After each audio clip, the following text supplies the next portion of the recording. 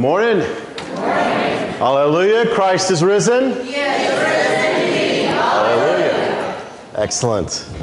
Uh, we ran out of our, our color copies of the bulletin. They are printing off some extra copies back there. So if you are sharing and during the midst of our Christian service you feel like you've done enough sharing and you need your own, uh, there'll be a bulletin back there in just a few minutes for you to get your own. Uh, we want no one to leave unhappy here, okay?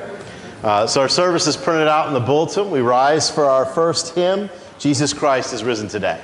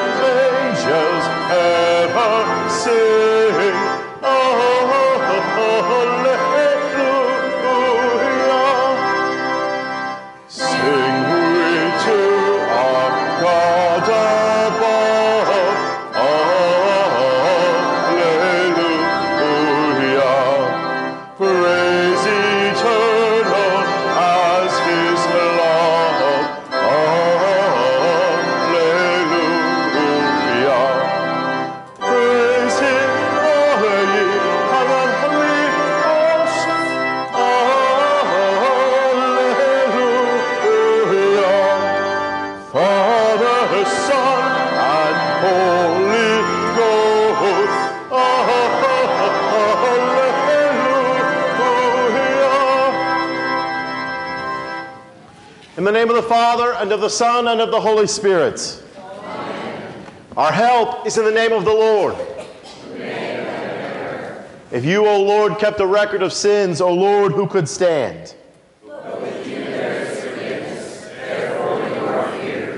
Since we are gathered together to hear God's word, to call upon him in prayer and praise, and to receive the body and blood of our Lord Jesus Christ in the fellowship of this altar, let us first consider our own unworthiness and confess before God and before one another that we have sinned in thought, word, and deed, that we cannot free ourselves from this, our sinful condition.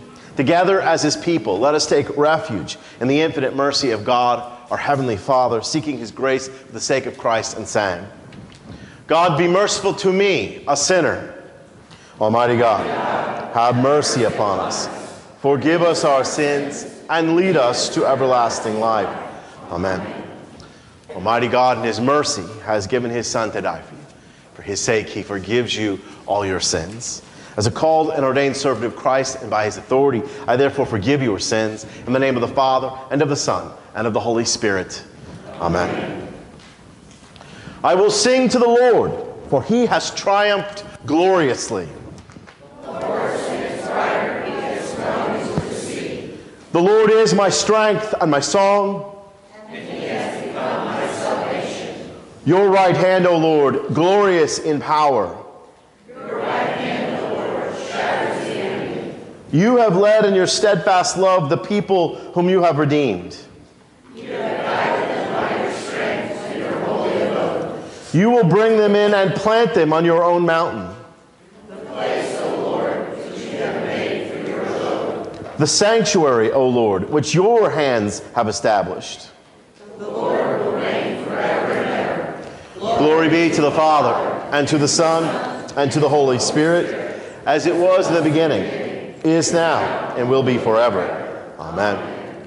I will sing to the Lord, for he has triumphed gloriously.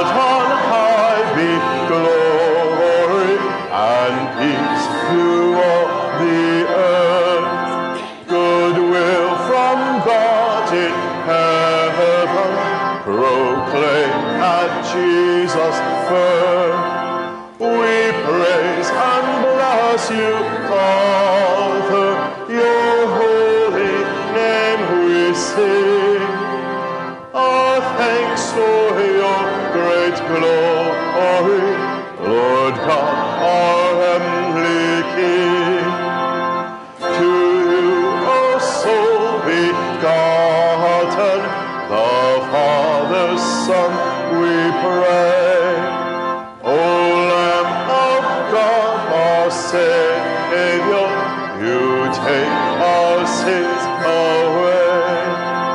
Have mercy on us, Jesus. Receive our heartfelt prayer.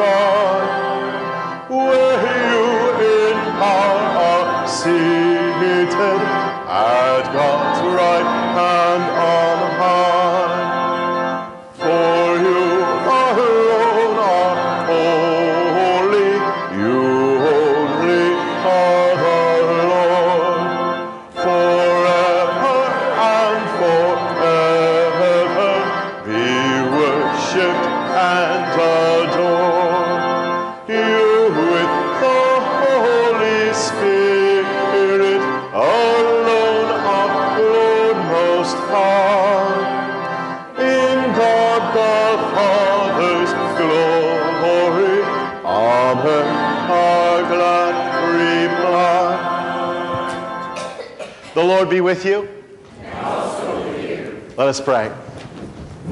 Almighty God, the Father, through your only begotten Son, Jesus Christ, you have overcome death and opened the gate of everlasting life to us. Grant that we who celebrate with the joy the day of our Lord's resurrection may be raised from the death of sin by your life giving Spirit, through Jesus Christ our Lord, who lives and reigns with you and the Holy Spirit one God, now and forever. Amen.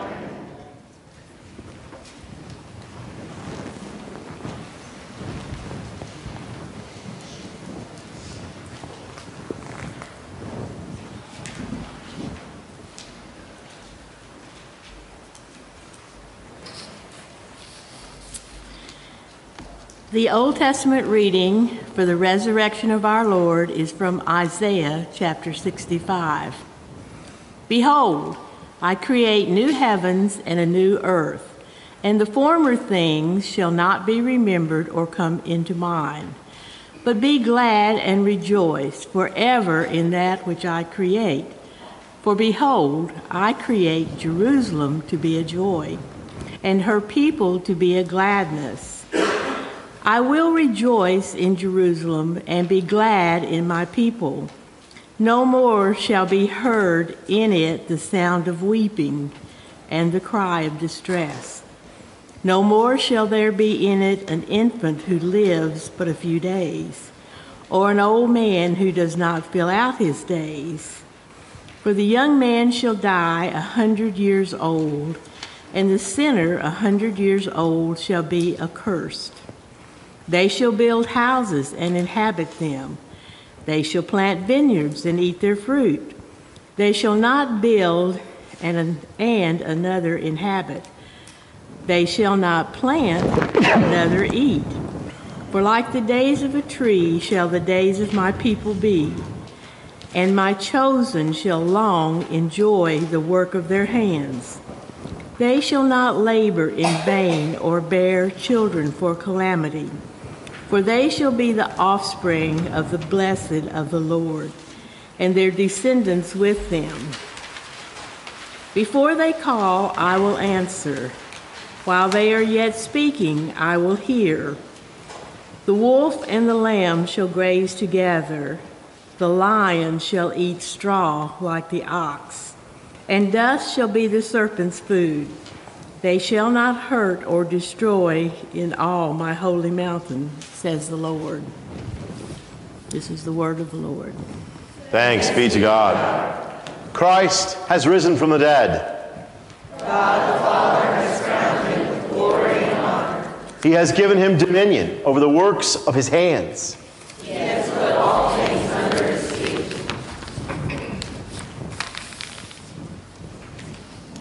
The epistle lesson is from 1 Corinthians chapter 15. If in this life only we have hoped in Christ, we are of all people most not most to be pitied. But in fact, Christ has been raised from the dead, the first fruits of those who have fallen asleep. For as by a man came death, by a man has come also the resurrection of the dead. For as in Adam all die, so also in Christ shall all be made alive, but each in his own order. Christ, the firstfruits, then at his coming, those who belong to Christ.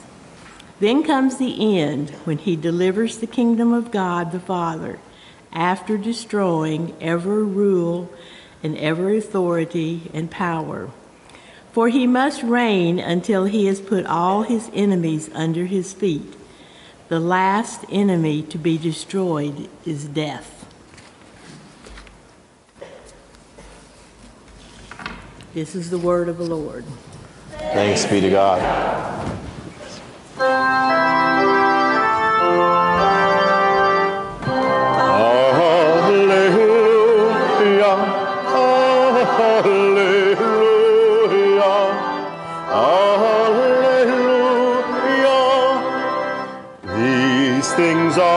That you may believe that Jesus is the Christ, the Son of God.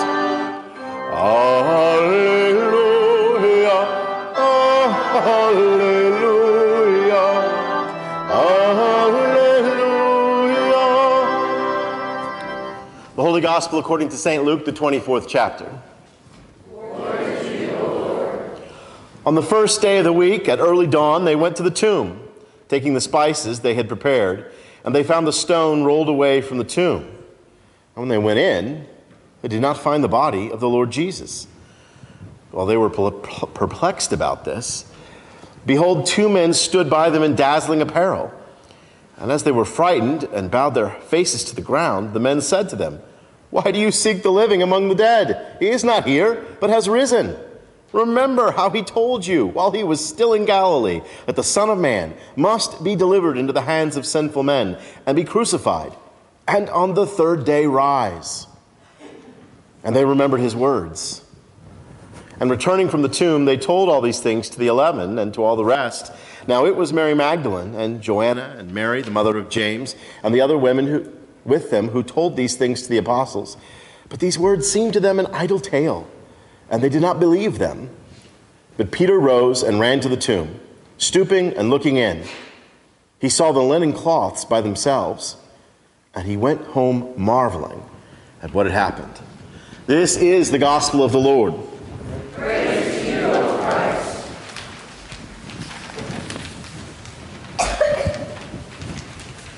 I believe in one God, the Father Almighty, maker of heaven and earth, and of all things visible and invisible, and in one Lord Jesus Christ, the only begotten Son of God, begotten of his Father before all worlds, God of God, light of light, very God, very God, begotten, not made, being of one substance with the Father, by whom all things were made, who for us men and for our salvation came down from heaven and was incarnate by the Holy Spirit of the Virgin Mary and was made man and was crucified also for us under Pontius Pilate. He suffered and was buried. And the third day he rose again, according to the Scriptures, and ascended into heaven, and sits at the right hand of the Father. And he will come again with glory to judge both the living and the dead, whose kingdom will have no end.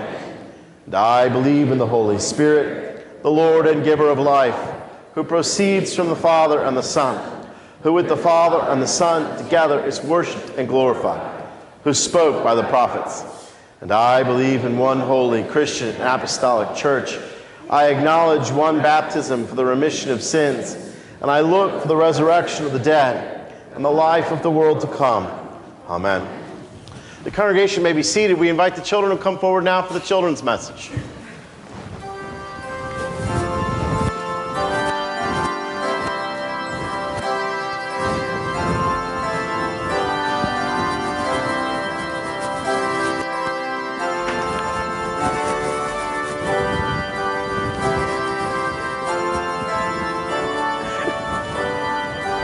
Good morning.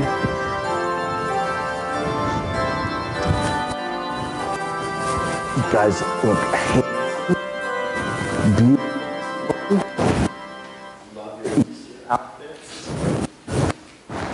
Now, for the last 40 days, there's a word we haven't been saying.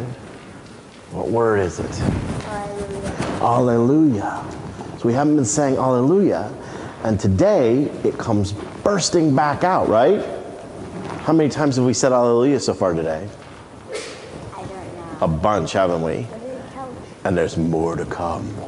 And we have our Alleluia banner because today is a day of joy and praise to God. Oh, did your belt come off? Oh, okay. Well, that's a good thing to do with it. So, Alleluia is a Hebrew word, and it comes from two parts, okay? So the first part, Hallel, means praise, right? You know what the second part is?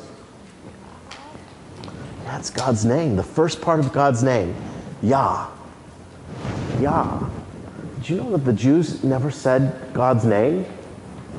Because in the Bible, it says, You shall not use the name of the Lord your God in vain. And they said, Well, we don't want to even come close to using God's name in vain, so we'll just never use it. Now, hold on a second. Do you think that's what God wanted? When he said, Don't use my name in vain, did he mean never call Michael Michael? What if I never called him Michael? I just said, Hey, you, kid, buddy. Would that get annoying to you? Would, it, would you like me to use your name sometimes? Kid? Little guy? not for long. Not for long. Yeah. But when we, there's a way when we use somebody's name that we show that we notice them, that we respect them, that we love them, right? Nate? Yeah? Right, Michael? Yeah. And so for 40 days, we haven't been saying that part of God's name, Yah, Alleluia. But today, it comes back. And, you know, every one of the commandments, on the one hand, it tells me don't do something, but on the other hand, it tells me do something. So, on the one hand, when the Bible tells me not to steal, I'm not supposed to take Hannah's hat, right? but I'm supposed to help her keep it and protect it, right? So if the commandment says don't use the Lord's name in vain, how do we keep that commandment? We use God's name how? In praise and thanksgiving. So today, when we say, Alleluia, we are keeping the commandment. When we have that praise in our heart, we give thanks, we have joy for all He's done. That is the right way to use God's name. And what a thing that God says, You can call me by name. He says, When you pray, you can call me Father. And we know God's name even better because He sent His Son. And what's His Son's name? Jesus.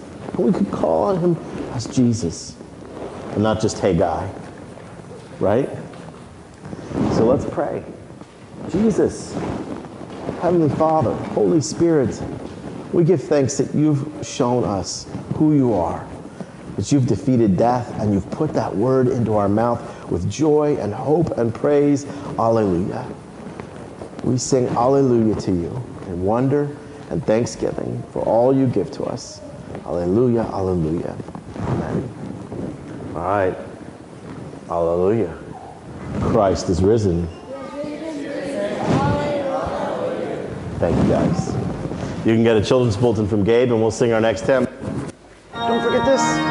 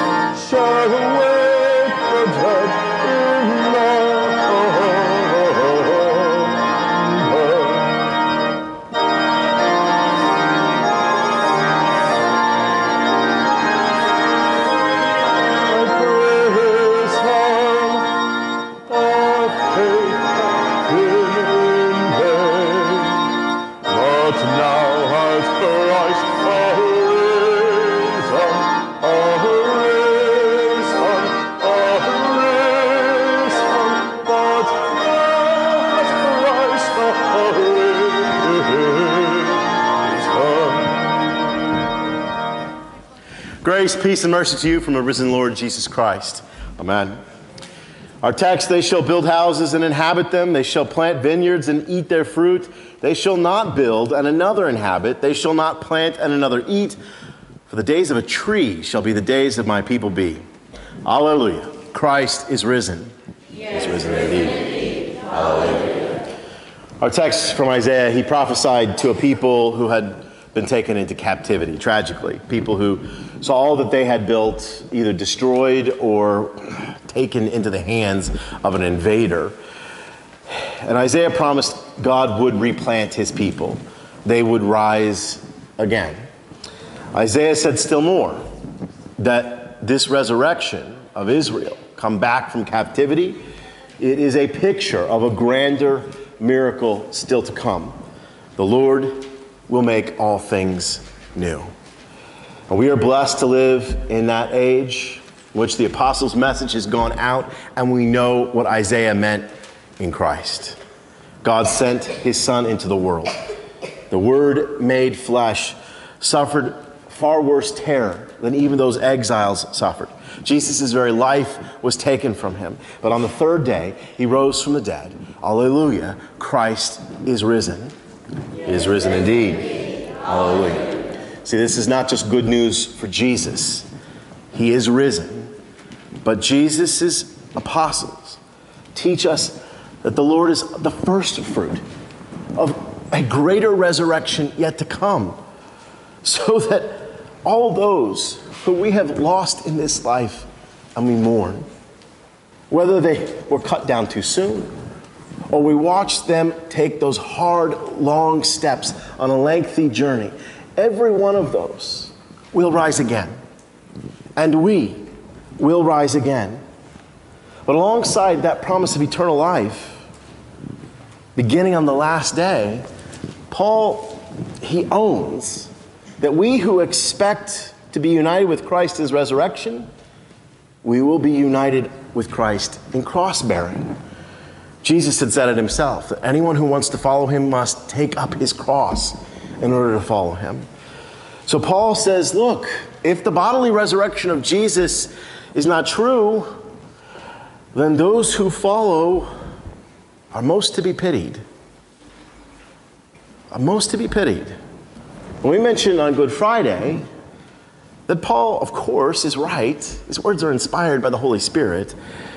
And yet there's still something substantial, something glorious, something ruggedly true, even in those darkest and hardest moments of cross bearing, when you find love given to you to give to others in those moments. It is better to love under the cross than not to have loved. And we must caution ourselves because ever since Paul Christians might be the most to be pitied, should our faith have been mistaken. Well, there have been many people offering up alternative takes on Christianity, their own brands of pity free Christianity. A pity free, crossless Christianity sounds like the way to go. To be honest, Jesus' first apostles all tried it. When they came and arrested Jesus, they said, okay, we're skipping town. We're not sticking around for the cross. And Peter, who was called the rock, he denied Jesus in triplicate. It was just like the exiles under Isaiah, God regathered those scattered sheep. He brought the apostles back. Jesus forgave every one of them. And those apostles did carry the cross. Eleven were martyred. And the only one who wasn't, they tried to martyr him. They tried a couple times. When it wouldn't take, they just exiled him to get him off the way. And it's great evidence for the truth of the resurrection. If they made it up, or if they still harbored doubts like Thomas did before he saw and put his fingers in the wounds, would they have all died in those ways? And we don't pity them. Rightly, we celebrate them because they loved to the end and they had the victory in Christ Jesus. But since then, there are Christians who've tried following Jesus like a husband follows whatever his wife is saying during the last couple minutes of a fourth quarter football game that's tied. We might laugh about it, but if you think about what I'm talking about, it's kind of sad. that a voice a husband used to thrill to hear, to say, This is the one person I want to hear from more than any, the voice of love, kind of not interested in right now. Could you just wait, honey? And that's how we are with Christ sometimes. Yet, in the book of Revelation, he warns us that if we go lukewarm on him, he's going to spit us out of his mouth. It doesn't work that way. It's either all in or out, brothers and sisters. It's not the only pity free Christianity man has tried to invent. We've, we've come up with a, a few variations. There's the kind that takes up Isaiah's words in the Old Testament, cuts off the part about new creation. Just get rid of the word new. We'll have it right here, right now. We'll get our treasures now. If we're going to get our treasures now, we're going to treat prayer like a, a vending machine. Just teach me the right words, Pastor, and then I'll get exactly what I want. And I'll get my treasures now. And if we're getting our treasures now, we're going to need armies to protect those treasures, whether soldiers or lawyers or both. We got to fight for this kingdom here in this world. We'll use these words crusade, but we're not talking about something from the Middle Ages. We're talking about today. We've been told, Christians, it's time to stop being pitied in this world. We don't want to be pitied. Nobody wants to be pitied. It's time to stop being sheep and start being lions. Well, there's only one lion of the tribe of Judah. The one lion of the tribe of Judah, he chose to become the Lamb of God. And if you're stronger than him, too strong to be one of his sheep, it's not the Bible's Christianity you're practicing. If you want in on biblical Christianity, brothers and sisters, and you do, you want in on biblical Christianity because, hallelujah, Christ is risen. Is risen indeed. Hallelujah. Well, then we're going to have to risk being pitied with Paul. Not just pitied by fools, but if in this life we only have hoped in Christ, we are of all people most to be pitied. I'm seeing more and more rebellion among Christians against what Paul and Jesus' 12 apostles lived. Christians tell each other, don't be a doormat. Yeah, I can agree in one way with that. You aren't called to be a doormat, to just take it. We have a clear an active response that we've been commanded to do in response to people treating us wrongly. And see, the don't be a doormat talk, well, not always, but often it's upset about the very pity that Paul is talking about the turning the other cheek, the choosing to go forward and being a peacemaker. It's often a rejection of that command. And Jesus, who said, You're going to have to take up a cross to follow me. The promise that our blessings in this life come from being peacemakers. In some mouths, it even becomes a slander of what we're trying to do when we turn the other cheek. When by God's grace, we actually have the strength, because a lot of times I don't have the strength for it, right? Lord, forgive us. But when God's grace gives us the strength to turn the other cheek, to make peace with an enemy, we're doing something wonderful, something glorious. It's not being a doormat, it's standing firm to love. Turning the other cheek cuts against instincts that are in the deepest fibers of our bodies, right? When somebody does something bad, the animal part of us says, fight or flight. And that's all we think, thinking's even the right word, right? But being human, we don't do it just like the animals. Well, we've got complicated ways to do it because we're human, right? Sometimes the fight is with my words. I yell, I scream. Sometimes the flight, I don't move my legs at all. I just kind of disappear and don't say anything. But Christ has shown us a different way.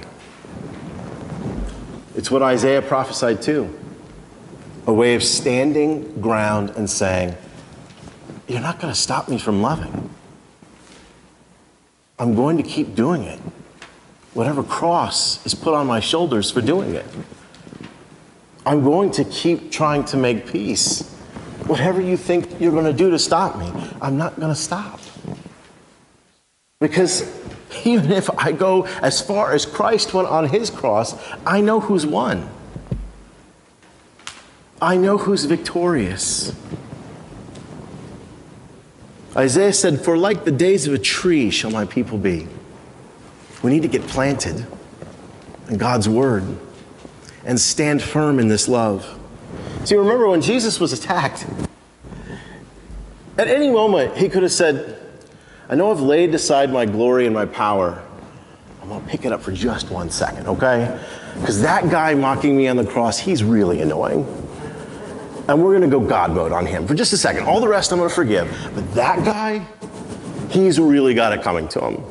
And he can look the other way and just pretend it's not him throwing the lightning bolt, making the guy pop. He could have done that at any moment.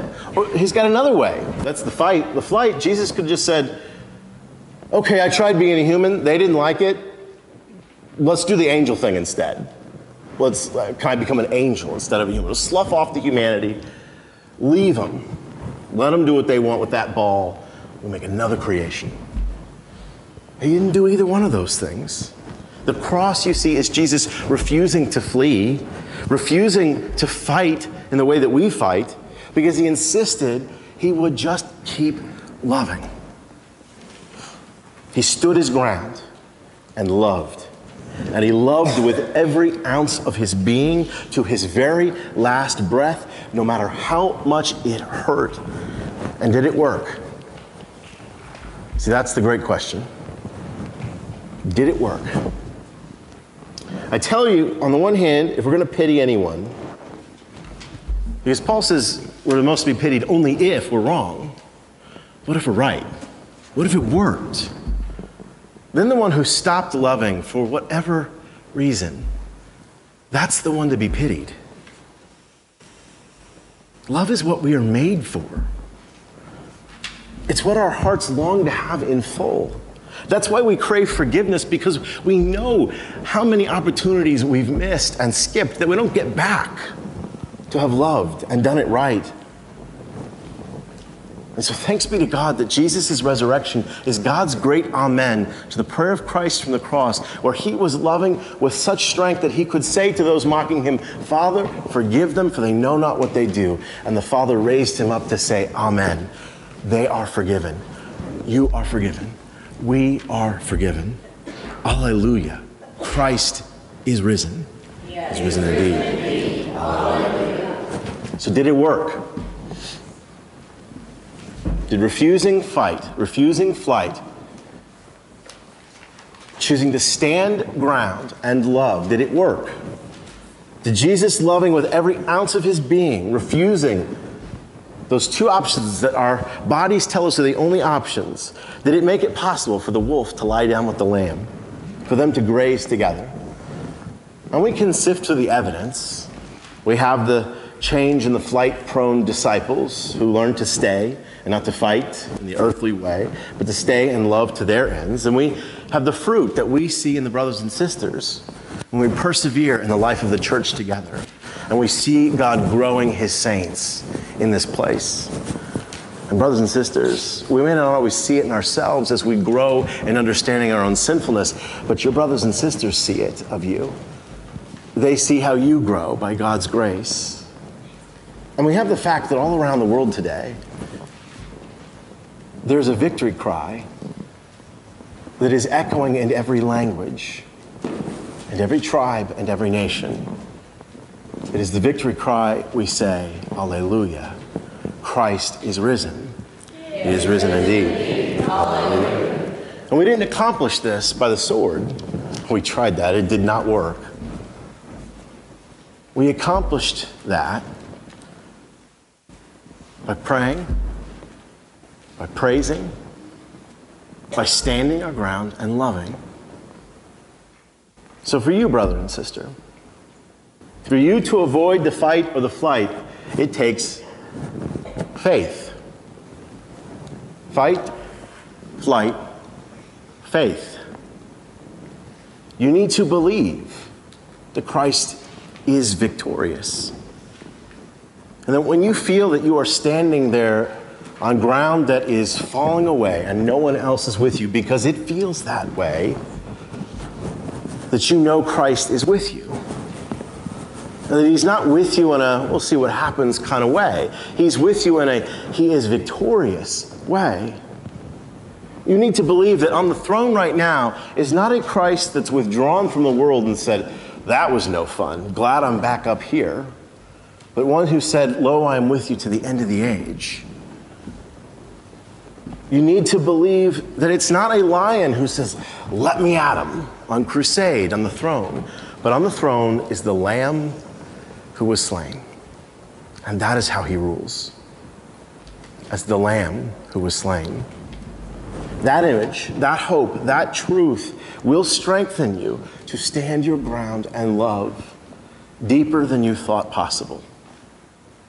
Even through grief of death roaring its roar.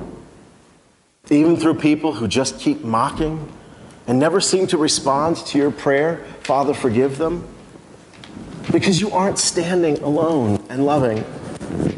When you choose to sow the seeds of peace, you are the Lord's hands for his harvest that must prove true. You aren't a lemming, you aren't a doormat, you aren't defeated.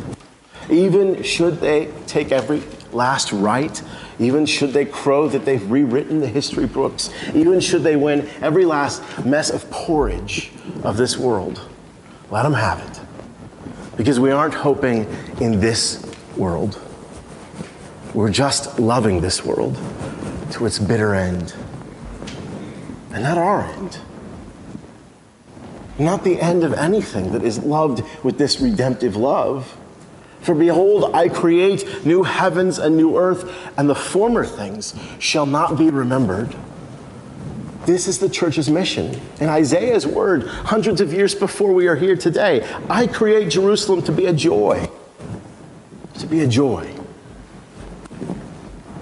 That's part of how we stand and love. Refusing to let our joy be taken, no matter what other grumbling comes into our heart in the moment, we say, No, because Christ is risen. And God is making all things new. And the things that seem to be so permanent today, they will not be remembered. God Himself says, I will rejoice in Jerusalem. I will be glad in my people. So we too, we will stand. We will love. We will rejoice in God's people, celebrating together with one hopeful voice. Alleluia.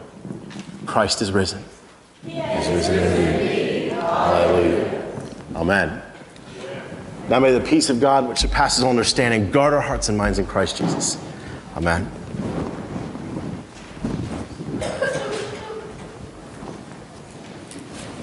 We rise to pray.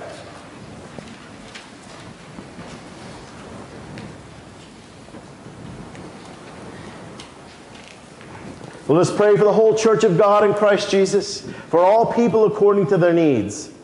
Lord God, on this glorious day, fill your people with a holy fear at the resurrection of your Son, that we would tremble no longer before the grave, but rejoice and live in the truth of your power to save. Lord, in your mercy. Be with Matthew, our Synod president, Daniel, our district president, and all our pastors.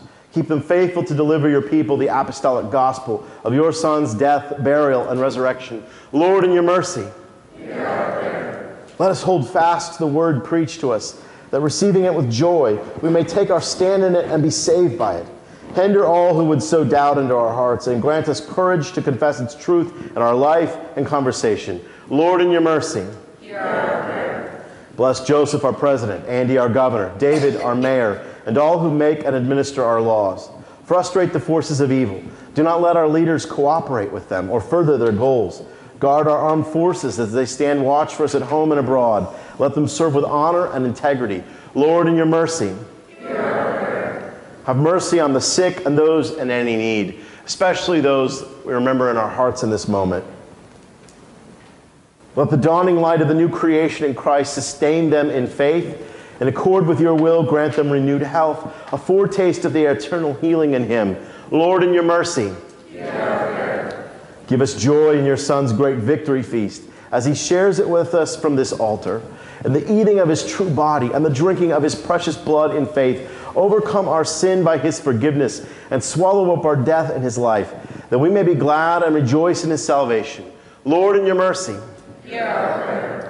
Comfort those who mourn with the truth of Christ's empty tomb, that in the midst of their grief they may abide in the hope of his resurrection. Uphold them in faith as they await the day when you will wipe away every tear from all faces.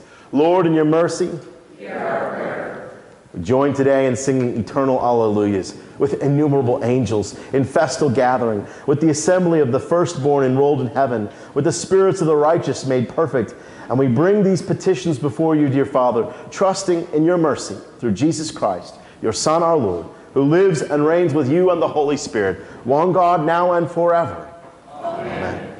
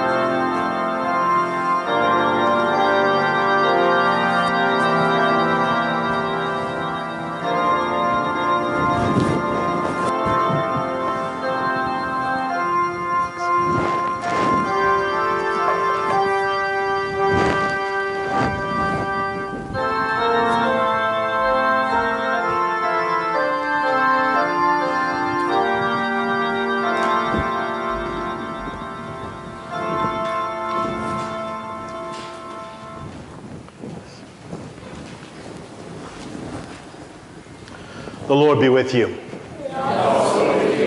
Lift up your hearts. Let us give thanks to the Lord our God. It is truly good, right, and salutary that we should at all times and in all places give thanks to you, O Lord, Holy Father, Almighty and everlasting God, for the countless blessings you so freely bestow on us and all creation. Above all, we give thanks for your boundless love shown to us when you sent your only begotten Son, Jesus Christ, into our flesh and laid on him our sin, giving him into death that we might not die eternally.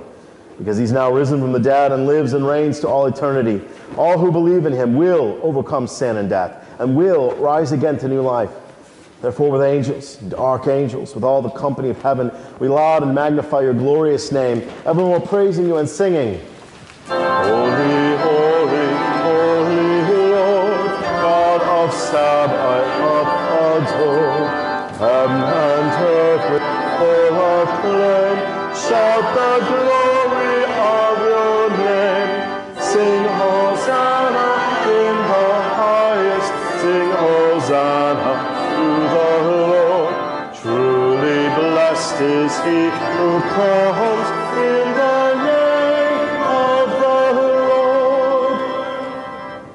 Blessed are you, O Lord, our God, King of all creation. For you have had mercy on us and given your only begotten Son, that whoever believes in him should not perish, but have eternal life. For Christ, our Passover lamb, has been sacrificed. And by his death, he has redeemed us from the bondage to sin and death. And by his resurrection, he has delivered us into new life in him. Grant us to keep the feast in sincerity and truth, faithfully eating his body given into death and drinking his life's blood poured out for our salvation till we pass through death to the promised land of life eternal. Hear us as we pray in his name and as he has taught us. Our Father, who art in heaven, hallowed be thy name. Thy kingdom come, thy will be done, on earth as it is in heaven. Give us this day our daily bread, and forgive us our trespasses, as we forgive those who trespass against us. And lead us not into temptation, but deliver us from evil. For thine is the kingdom, and the power and the glory forever and ever. Amen. Our Lord Jesus Christ, on the night when he was betrayed, took bread. And when he had given thanks, he broke it and gave it to the disciples and said, Take, eat. This is my body, which is given for you. This do in remembrance of me. The same way also he took the cup after supper. And when he had given thanks, he gave it to them, saying, Drink of it, all of you. This cup is the New Testament in my blood, which is shed for you for the forgiveness of sins. This do as often as you drink it in remembrance of me. The peace of the Lord be with you always.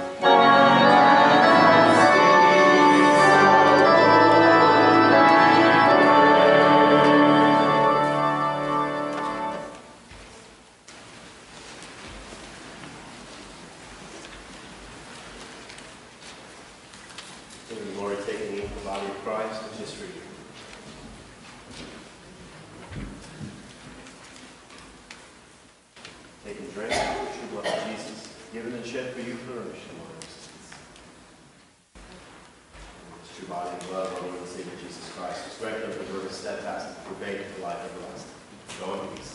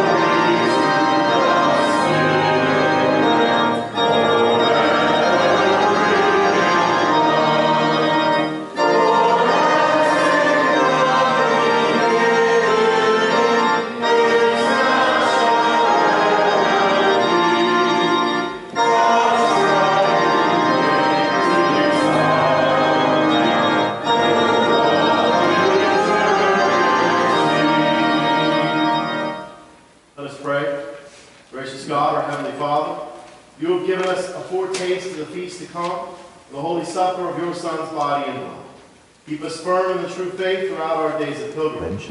But on the day of his coming, we may, together with all your saints, celebrate the marriage feast of the Lamb and his kingdom which has no end. Through Jesus Christ, your Son, our Lord, who lives and reigns with you and the Holy Spirit, one God, now and forever. Amen. Let us bless the Lord. The Lord bless you and keep you. The Lord make his face shine upon you and be gracious to you. The Lord look upon you with his favor and give you his peace. Amen. Alleluia. Christ is risen. He is risen indeed. Alleluia.